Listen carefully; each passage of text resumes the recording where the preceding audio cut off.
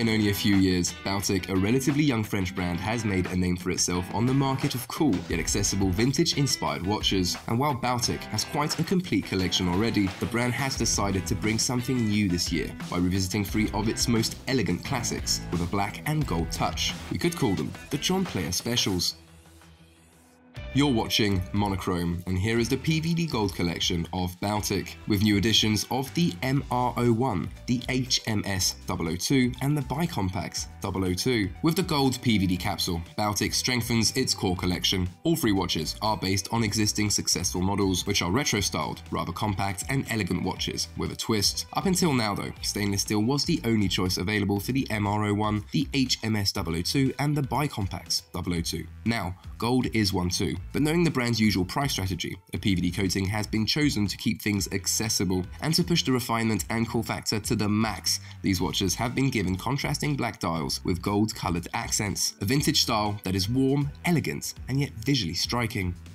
Now the first of the three models is based on the MR01, inspired by time-only icons of the 1940s such as the Calatrava. This watch made a strong impact at the time of its launch. Its case is compact and slim, measuring only 36mm in diameter, about 10mm in thickness and 44mm in length and it comes with a stepped bezel and an ultra-domed Hesalite crystal, typical of the 1940s. For the occasion, its steel case had been coated in yellow gold PVD while maintaining brush sides and polished lugs and bezel. The other evolution concerns the dial, and it's not only about the black colour, the handsome Breguet numerals and the leaf hands are also gold coated. The dial has changed compared to the classic editions and is now glossy with gold coloured tracks, creating the effect of a vintage gilt dial. The Saffiano blackstrap brings a finishing touch for an elegant look. Another talking point of the MR01 is the movement, as it is powered by an automatic micro-rotor engine made by the Hangzhou factory, and despite being an accessible movement, it elevates the watch to a whole different level. Visible through a transparent back, it boasts 42 hours of power reserve. It will be available mid-December at 545 euros.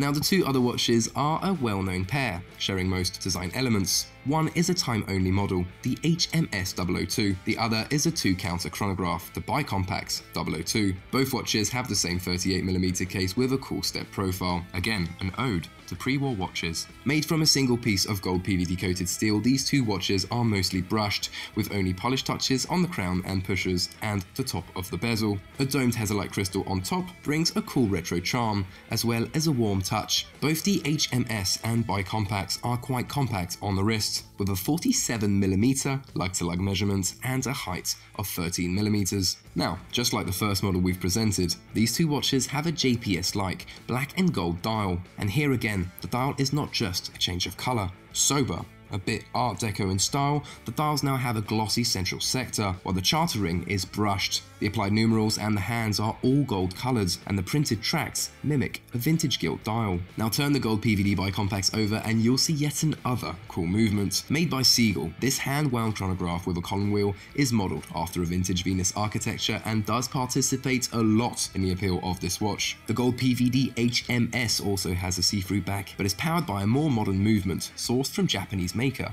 Miyota, a reliable movement that allows a fair price but also a solid power reserve of 60 hours. Contrasting with the gold colour of the case and bringing an almost tuxedo style, these two models are worn on the Saffiano black leather strap. The Bicompax model will be available in mid-December for 565 euros and the HMS version at the end of January 2024 for 385 euros.